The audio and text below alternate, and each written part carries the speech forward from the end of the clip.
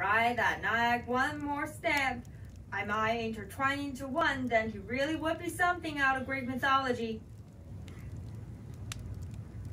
What do you know about the Greeks, Mr. Helm? Well, I know they like to bugger each other up. The pooper like you, and Johnny seemed inclined to do. I know they didn't talk unless they had something worth saying. And you, just call me Boo.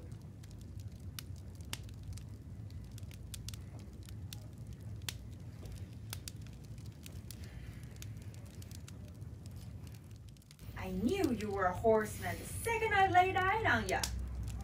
As easy as that, huh? Never said it was easy. Came down hard on them pocket woods, all guns blazing. How did you drive the horses to Salt Lake? Had me a couple Mexican caballeros for no much more than frijoles. No offense.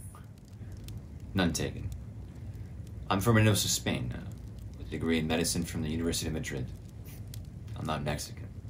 A Spanish doctor. Ain't that a treat? Why don't you get to rusting up some tasty Doc, and I'll share more secrets of wealth right after I talk more of this horse out of me. Sounds like a lot of tall talk to me. He's a peculiar one. No denying that. Definitely something queer about him. His eyes ain't right. Min's pipe down if it wasn't for Rome's deep pockets.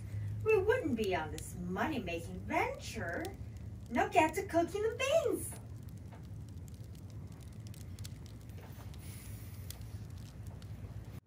My name is John Erickson. Reading for the role of Dr. Antonio Carrillo.